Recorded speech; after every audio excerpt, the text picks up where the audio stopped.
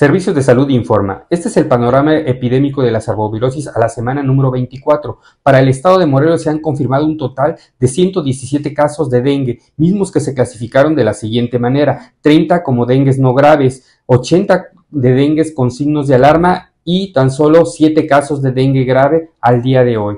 Eh, los municipios de mayor incidencia son Coatlán del Río, Yautepec, Mazatepec y Emiliano Zapata, sitios donde se están haciendo acciones de reforzamiento y de control para, estas eh, este, áreas geográficas del, estado.